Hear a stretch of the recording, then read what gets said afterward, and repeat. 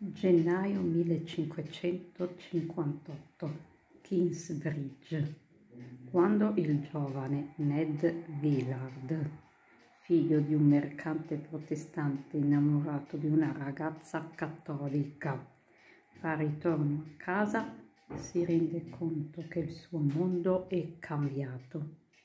Solo la vecchia cattedrale sopravvive immutata testimone di una città lacerata dal conflitto religioso, che Ned dovrà lasciare per diventare uno degli uomini chiave del primo servizio segreto agli ordini di Elisabetta I.